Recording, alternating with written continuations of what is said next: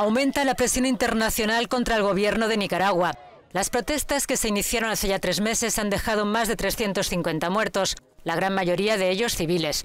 Euronews ha entrevistado al ministro de Políticas Nacionales de Nicaragua, Paul O'Kist, que se encuentra en Bruselas y que ha respondido a las críticas de Naciones Unidas. Incluso el alto comisionado de Naciones Unidas para los Derechos Humanos le ha pedido al gobierno nicaragüense que cese la violencia estatal y que desarme a los grupos progubernamentales. Ese mismo alto comisionado dijo que la vasta mayoría de las bajas fueron por las fuerzas gubernamentales y eso es basado en la nada. Eso es basado en información tendenciosa de organizaciones locales de derechos humanos que han sido uh, parcializados desde hace décadas.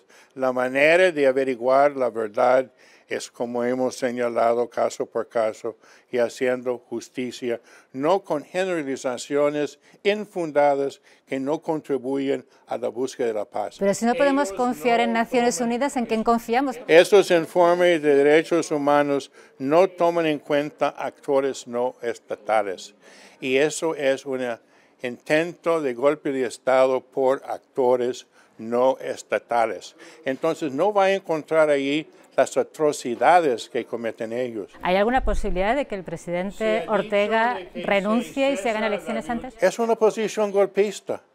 ¿Por qué va a renunciar el presidente? ¿Porque alguien se pone barricadas en la calle?